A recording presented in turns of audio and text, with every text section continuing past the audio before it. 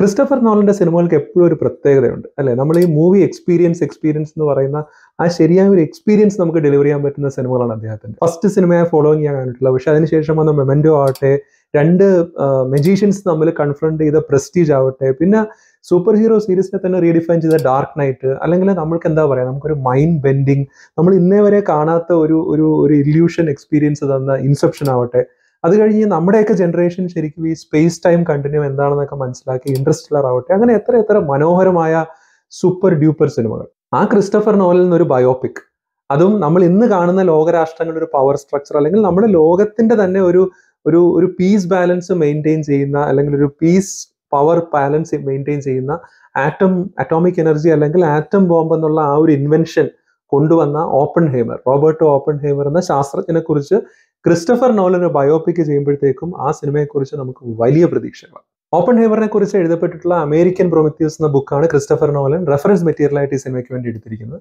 Film making ക്രാഫ്റ്റും ആ മെസ്പറൈസിംഗ് എക്സ്പീരിയൻസും ഒക്കെ തരുന്ന നോലന്റെ വലിയൊരു പ്രത്യേകതയെ പറയുന്ന കാര്യം സി ജി എ വളരെ കുറച്ച് ഉപയോഗിക്കുന്ന ഒരു സംവിധായകനാണ് ക്രിസ്റ്റഫർ നോലൻ.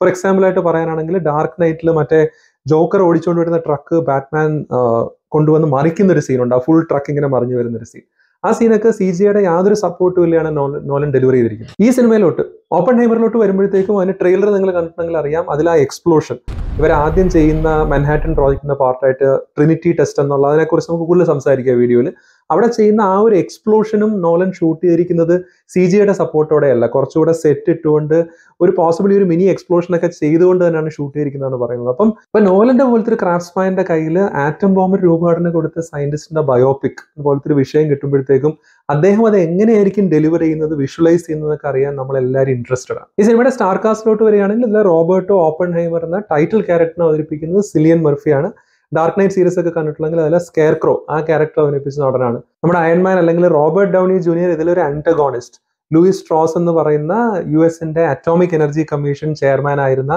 പോസിബിളി ഓപ്പൺ ഹൈമറിന്റെ അയാളുടെ എന്താ പറയുക പൊളിറ്റിക്കൽ വീക്ഷണങ്ങളോട് കുറച്ച് സംശയത്തോടെ നോക്കിക്കണ്ടിരുന്ന ഇയാൾക്കൊരു ഒരു ഒപ്പോസിംഗ് ഫോഴ്സ് അല്ലെങ്കിൽ ഒരു ആന്റഗോണിസ്റ്റ് പോലെയൊക്കെ ഈ സിനിമയിൽ വരാൻ ചാൻസ് ഉള്ള ലൂയിസ് സ്ട്രോസ് എന്ന ക്യാരക്ടറിലാണ് നമ്മളുടെ റോബർട്ട് ഡൗണി ജൂനിയർ വരുന്നത്. പിന്നെ ആറ്റം ബോംബിന്റെ രൂപകൽപ്പന കൊടുത്ത ഫേമസ് ആയ മൻഹാട്ടൻ പ്രോജക്ട് അല്ലെ ഈ ഓപ്പൺ ഹെവറിന്റെ മൻഹാട്ടൻ പ്രോജക്റ്റ് ലീഡ് ചെയ്തിരുന്ന ഒരു യു എസ് മിലിറ്ററി ജനറൽ ഉണ്ട് ലെസ്ലി ഗ്രോസ് എന്നാണ് അയാളുടെ പേരെന്ന് എന്റെ ഓർമ്മ. ആ ജനറലിന്റെ റോളിലാണ് ഇതിൽ മാറ്റ് ഡയമണ്ട് വരുന്നത്. അങ്ങനെ വലിയ സ്റ്റാർ കാസ്റ്റോടെ വരുന്ന ഒരു സിനിമയാണ് ഓപ്പൺ ഹേമർ ഈ സിനിമ ഫോക്കസ് ചെയ്യാൻ പോകുന്നത് പോസിബിളി ആറ്റം ബോംബ് ഉണ്ടാക്കാനുള്ള ഇയാളുടെ ജേണിയാണ് അല്ലെ? ആറ്റം ബോംബ് ഉണ്ടാക്കാനുള്ള ജേണിയും പോസിബിളി അത് ലോഞ്ച് ചെയ്തതിന് ശേഷമുള്ള ഇയാളുടെ റിയാക്ഷൻ ആയിരിക്കും സിനിമ പറയുന്നതെന്നാണ് ഞാൻ പ്രതീക്ഷിക്കുന്നത്. അപ്പൊ എന്തുകൊണ്ട് ആറ്റം ബോംബ് രൂപകൽപ്പന കൊടുക്കാൻ ലോകത്തിലെ വലിയ ശാസ്ത്രജ്ഞർ ആ സമയത്ത് ഒരു ശ്രമം നടത്തി? അല്ലെങ്കിൽ അമേരിക്കയിൽ ഒത്തുകൂടി മാൻഹാട്ടൻ പ്രോജക്ട് പോലൊരു പ്രോജക്ട് വന്നു എന്നൊരു ചോദ്യം വരികയാണെങ്കിൽ അതിനുള്ള ഉത്തരം ഇത് ഡെഫിനറ്റ്ലി ഒരു റേസ് അഗെയിൻസ്റ്റ് ടൈം ആയിരുന്നു. അപ്പൊ ആ സമയത്ത് ലോകം എത്തി നിൽക്കുന്നത് ഡെഫിനറ്റ്ലി ന്യൂക്ലിയർ ഫിഷൻ അല്ലേ? രണ്ട് ഒരു ആറ്റത്തിനെ നമ്മൾ വെട്ടിമുറിക്കുമ്പോൾ അതിൽ നിന്നുണ്ടാകുന്ന എനർജി ഒരു ബോംബ് അല്ലെങ്കിൽ മിലിറ്ററി ആവശ്യങ്ങൾക്ക് ഉപയോഗിക്കാനാകുന്ന രീതിയിൽ ആ എനർജിയെ ടാപ്പ് ചെയ്യാൻ ഉള്ള ആ ഒരു ആ ഒരു പർട്ടിക്കുലർ പ്രോസസ്സ് അതാണല്ലോ നമ്മൾ അറ്റോമിക് ബോംബ് എന്ന് പറയുന്നത്. ആ ഒരു പ്രോസസ്സ് വെപ്പണൈസ് ചെയ്യാൻ ആരാദ്യം കണ്ടുപിടിക്കുന്നോ?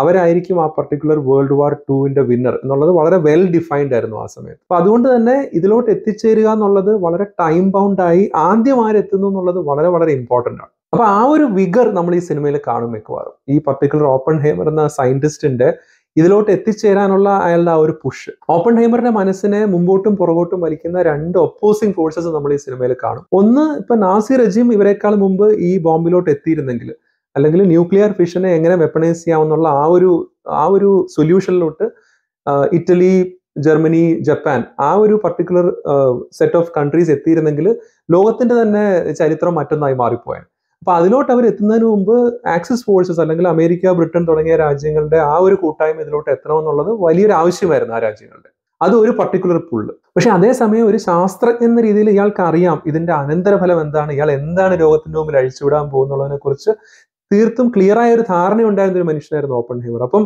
അറ്റോമിക് ബോംബ് ഉണ്ടാക്കി ഈ യുദ്ധം താൽക്കാലികമായി നിർത്താമെങ്കിലും ഈ ഒരു പർട്ടിക്കുലർ ബോംബ് ലോകത്തിന് മുമ്പിൽ എടുത്തു വെക്കുമ്പോഴത്തേക്കും ഇതിന്റെ നശീകരണ ശക്തിയും ഇത് എന്തൊക്കെ രീതികളിൽ ലോകത്തിനെ മാറ്റിമറിക്കാം എന്നുള്ളതിനെ കുറിച്ച് ഡെഫിനറ്റ്ലി കൺസേൺഡ് ആയിരുന്ന ഒരു വ്യക്തി തന്നെയാണ് ഓപ്പൺ ഹൈമർ എന്നാണ് ചരിത്രം നമ്മളോട് പറയുന്നത്. ഈ സിനിമയുടെ ട്രെയിലർ ഷോട്ടിൽ നമ്മൾ കാണുന്നത് ഇദ്ദേഹം നടത്തിയ ഇദ്ദേഹം ഇദ്ദേഹത്തിന്റെ ടീം നടത്തിയ വളരെ ഫേമസ് ആയ ട്രിനിറ്റി ടെസ്റ്റ് എന്ന ലോകത്തിലെ തന്നെ ആദ്യത്തെ സക്സസ്ഫുൾ ആറ്റം ബോംബ് ടെസ്റ്റ് ആണ് ഇതിൽ നമ്മൾ കാണുന്നത്. അതാണ് ഈ മൻഹാട്ടൻ പ്രോജക്റ്റിന്റെ ഒരു എപ്പിറ്റോം സക്സസ് ആയി കണക്കാക്കുന്നത് ഈ ട്രിനിറ്റി ടെസ്റ്റ് ആണ്. ന്യൂ മെക്സിക്കോയിൽ നടന്ന ട്രിനിറ്റി ടെസ്റ്റ് ഒരു വലിയൊരു ടവറിന്റെ മുകളിൽ ഈ ആറ്റം ബോംബിന്റെ ഒരു മിനി രൂപം വെച്ചുകൊണ്ട് ഇത് എക്സ്പ്ലോഡ് ചെയ്ത് നോക്കി. ഇതിന്റെ പവർ ഗേജ് ചെയ്താണ് അവർ ആ ചെയ്ത ടെസ്റ്റ് ഇത് സക്സസ്ഫുൾ ആയി എക്സ്പ്ലോഷൻ നടത്താൻ പറ്റുമോ എന്നുള്ളതായിരുന്നു ആ ടെസ്റ്റിന്റെ മെയിൻ ലക്ഷ്യം. അതൊരു സക്സസ് ആയിരുന്നു. അതിനുശേഷം വളരെ അടുത്ത് തന്നെ എനിക്ക് ഒരു ടെസ്റ്റ് നടക്കുന്ന ഒരു ജൂൺ ജൂലൈ കാലഘട്ടത്തിലാണെന്ന് തോന്നുന്നു നയന്റീൻ ഫോർട്ടി ഫൈവിൽ അപ്പൊ ആ ഒരു അവസരത്തിൽ ആക്സിസ് ഫോഴ്സിനെതിരെ ഒരു തരത്തിലും അടിയറവ് പറയാതെ യുദ്ധം ചെയ്തുകൊണ്ടിരിക്കുന്നത് ജപ്പാനാണ്. കീഴടങ്ങുന്നതിനേക്കാൾ മരിക്കാൻ സന്നദ്ധരായി ഫൈറ്റ് ചെയ്യുന്ന ഒരു ഫോഴ്സാണ് ജാപ്പനീസ് ഫോഴ്സ് ഇപ്പൊ നമ്മൾ അവരുടെ കഷ്ടമായ ഹരാഗിരി അല്ലെങ്കിൽ മരിക്കുക എന്നുള്ള അവസ്ഥയെത്തും അല്ലെങ്കിൽ തോൽക്കുന്നൊരു അവസ്ഥ എത്തുമ്പോഴത്തേക്കും സ്വന്തം വയറുകേറി മരിക്കുന്ന ജാപ്പനീസ് സാമുറായികളുടെ കഥകൾ നമ്മളെല്ലാം കേട്ടിട്ടുണ്ടാവും. അപ്പൊ അങ്ങനെ നിൽക്കുന്ന ഒരു രാജ്യത്തിനെ കൊണ്ട് പരാജയം സമ്മതിപ്പിക്കാൻ വേണ്ടിയാണ് ഓഗസ്റ്റ് സിക്സ് ആയിരത്തി തൊള്ളായിരത്തി നാൽപ്പത്തി അഞ്ചിൽ ലിറ്റിൽ ബോയ് എന്ന യുറേനിയം നിറച്ച റിലേറ്റീവ്ലി ചെറിയ ഒരു അറ്റോമിക് ബോംബ് ഹിറോഷിമയിൽ നിക്ഷേപിച്ചുകൊണ്ട് അമേരിക്ക ഈ ആറ്റം ബോംബ് എന്നുള്ള കാര്യം ലോകത്തിന് മുമ്പിൽ ആദ്യമായി ചെയ്യുന്നത്.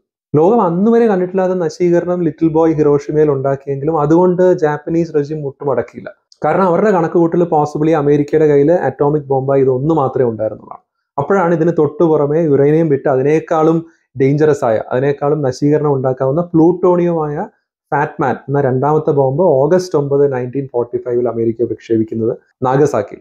ആ ഫാറ്റ്മാൻ എന്ന ബോംബിന്റെ അറ്റാക്കോടെ ജപ്പാൻ തോൽവി സമ്മതിക്കുകയും രണ്ടാം ലോക മഹായുദ്ധത്തിന് ഒരു വിരാമം വരികയാണ്. അപ്പൊ ക്രിസ്റ്റഫർ നോളന്റെ ഓപ്പൺ ഹൈമർ എന്ന ബയോപിക്ക് നമ്മളോട് പറയാൻ പോകുന്നത് ജൂ വംശജനായ റോബർട്ടോ ഓപ്പൺ ഹൈമർ എന്ന ആ ശാസ്ത്രജ്ഞന്റെ കഥയാണ്. അദ്ദേഹത്തിന്റെ പോസിബിളി ഇനീഷ്യൽ ലൈഫിന്റെ ഒരു ഫോർമേഷനും അവിടെ നിന്ന് മൻഹാട്ടൻ പ്രോജക്റ്റിലോട്ട് അദ്ദേഹം എത്തിച്ചേരാനുള്ള ചാൻസും ലോകം മുഴുവൻ ജ്യൂസിനെ ഹണ്ട് ചെയ്ത് നശിപ്പിക്കുന്ന അവരെ കൊന്നൊടുക്കുന്ന ഒരു നാസി റെജിമിനെതിരെയുള്ള അദ്ദേഹത്തിന്റെ എതിർപ്പും അതേസമയം പോസിബിളി ഒരു കമ്മ്യൂണിസ്റ്റ് ഫിലോസഫിയോടൊക്കെ അദ്ദേഹത്തിന്റെ ഒരു ഇൻക്ലിനേഷനും അങ്ങനെ ഒരു കോൺഫ്ലിക്റ്റഡ് ഫിലോസഫിക്കൽ പേഴ്സണാലിറ്റി ഉള്ളവരായിരുന്നു ഓപ്പൺ ഹേമർ ആ ഫാസറ്റ്സ് ഒക്കെ നമ്മൾ ഇതിനകത്ത് കാണും പോസിബിളി സിനിമയിൽ. അപ്പൊ മൻഹാട്ടൻ പ്രോജക്റ്റിലോട്ട് അദ്ദേഹത്തിന്റെ വരവും പിന്നെ പരീക്ഷണങ്ങളിൽ നിന്ന് പരീക്ഷണങ്ങളിലേക്ക് മാറി ഒടുവിൽ ട്രിനിറ്റി ടെസ്റ്റിൽ സക്സസ്ഫുൾ ആയ ആറ്റം ബോംബിന്റെ ആദ്യത്തെ ടെസ്റ്റും. അതിനുശേഷം താൻ രൂപകൽപ്പന ചെയ്ത ലിറ്റിൽ ബോയ് ഫാറ്റ്മാൻ എന്ന ബോംബുകൾ ജാപ്പനീസ് ജനതയിൽ വർഷങ്ങളോളം തലമുറകളോളം ഉണ്ടാകാൻ പോകുന്ന നശീകരണത്തിനെ കുറിച്ച് വ്യക്തമായ ഒരു ബോധമുണ്ടായിരുന്ന ആ ശാസ്ത്രം. ആ സമയത്ത് ഒരു ഫിലോസഫർ കൂടെ ആയിരുന്ന ഓപ്പൺ ഹേമറിന്റെ മനസ്സിൽ കൂടെ പോയത് ഭഗവത്ഗീതയിലെ ഒരു ഭാഗമാണ്. ഭഗവാൻ കൃഷ്ണൻ അർജുനോട് പറയുന്ന ഒരു പർട്ടിക്കുലർ സെക്ഷൻ അത് ഓപ്പൺ ഹേമർ ഇങ്ങനെ കോട്ട് ചെയ്തു. Now I am become death the destroyer of worlds ഞാൻ ഇന്ന് മരണമായിരിക്കുന്നു ലോകത്തെ ഭസ്മമാക്കുന്നവൻ. താൻ ലോകത്തിലേക്ക് അഴിച്ചുവിട്ട ആ നശീകരണ ശക്തി കണ്ട് കുറ്റബോധത്തോടെ ഒരു ശാസ്ത്രജ്ഞന്റെ വാക്കുകളാണോ? അതോ അർജുനനെ പോലെ തന്റെ ധർമ്മം തന്റെ കർമ്മം മാത്രമേ ഞാൻ ചെയ്തുള്ളൂ. ബാക്കിയെല്ലാം ദൈവഹിതം എന്ന് പറഞ്ഞ ഒരു പിൻവാങ്ങലാണ്. ഗീതയിലെ ആ വാചകം പറയുമ്പോൾ ഓപ്പൺ ഹേമറിന്റെ മനസ്സിൽ എന്തായിരുന്നു എന്ന് കൂടെ പോസിബിളി ക്രിസ്റ്റഫർ നോളന്റെ സിനിമ നമുക്ക് കാട്ടി തന്നേക്കാം